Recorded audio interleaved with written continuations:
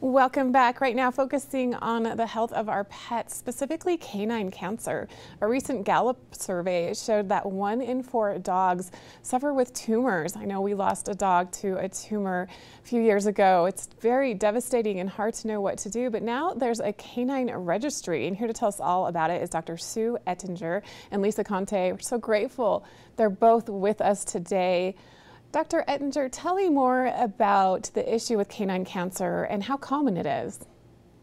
Yeah, so we've always known that it's the number one reason, it's the number one killer in dogs. It's estimated that 50% of dogs over the age of 10, so one in two dogs will have cancer, but we need more information. We There's just been a lack of information. So this Gallup poll surveyed just under 6,000 people, and 67% of them were dog owners. And we're learning what's so information so important is the incidence and prevalence of cancer.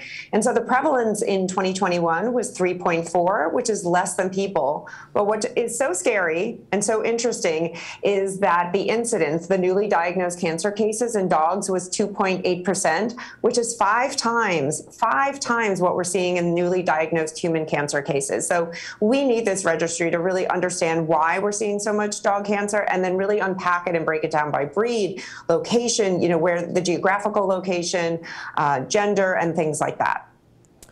And Lisa, tell me more about this canine registry with Take Charge. So we're launching the registry today, and what it's all about is a long-term commitment for information, for data, for for real news. And it allows us to have a better assessment of the risk of cancer in our dog and provides the opportunity for early diagnosis. What are the best prevention and treatment options, and overall, how can we provide the best care and comfort for our dogs, and particularly those who are experiencing cancer, which is so prevalent as we're hearing.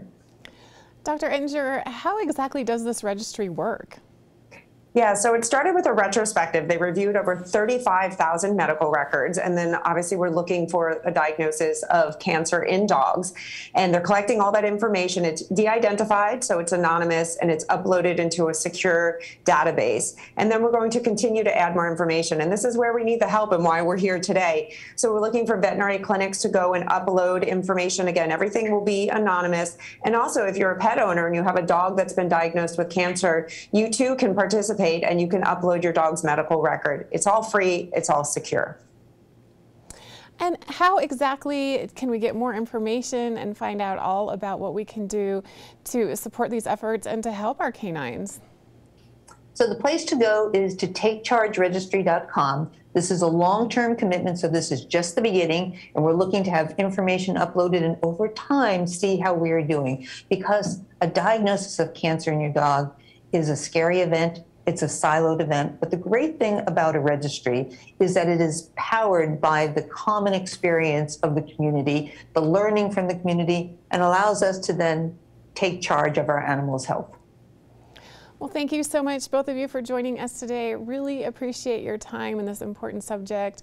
Again, we want to make sure that our dogs are as healthy as possible, and it's alarming to know how many canines experience this, one in four, once again. So I encourage you to head to Take Charge, get more information about that registry. We'll be back with more here on Mountain Connections right after this.